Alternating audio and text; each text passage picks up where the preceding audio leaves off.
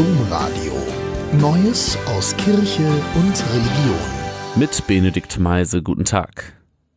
Papst Franziskus hat angesichts der derzeitigen furchtbaren Spannungen vor drohenden Kriegen gewarnt.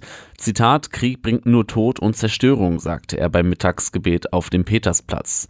Das Kirchenoberhaupt rief alle Beteiligten auf, an Selbstbeherrschung und Dialog festzuhalten.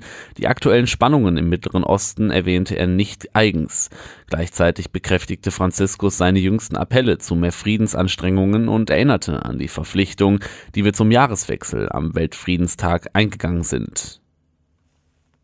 Notre Dame. Der Beauftragte der französischen Regierung für den Wiederaufbau von Notre Dame sieht die Pariser Kathedrale noch nicht als gerettet an. Zitat, es sei zu früh, das zu sagen. Notre Dame sei immer noch in Gefahr, sagte er im Interview mit mehreren französischen Medien. Er sei zwar zuversichtlich, doch es gelte weiter, den Zustand der Gewölbe im Auge zu behalten. Das Wahrzeichen der französischen Hauptstadt war im April 2019 durch ein Großbrand stark beschädigt worden, der mutmaßlich durch Dacharbeiten ausgelöst wurde. Verschwundene Krippenfiguren. Politaktivisten haben aus Protest gegen die EU-Flüchtlingspolitik bundesweit aus Kirchen zwei der heiligen drei Könige von den dortigen Weihnachtskrippen entfernt.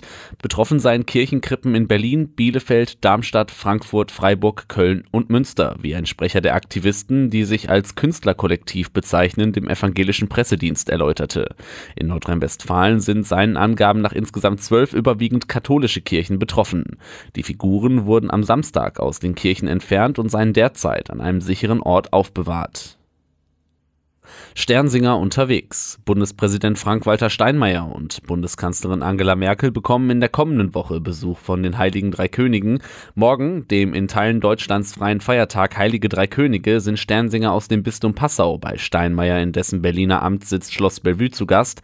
Am Dienstag empfängt Merkel im Bundeskanzleramt Sternsinger aus allen 27 katholischen deutschen Diözesen. Unter dem Titel Kleinbayern im Vatikan zeigt das bayerische Fernsehen morgen um 11.15 Uhr eine Reportage über das Leben des emeritierten Papstes Benedikt XVI. Darin gibt der 92-Jährige den Reportern seltene Einblicke in sein aktuelles Befinden. Zitat, ich bin ein alter Mann am Ende meines Lebens, sagt er in leiser und brüchiger Stimme. Seine Beine und seine Stimme sind schwach, Augen und Geist, aber weiter hellwach, so der Eindruck, den der Film vermittelt.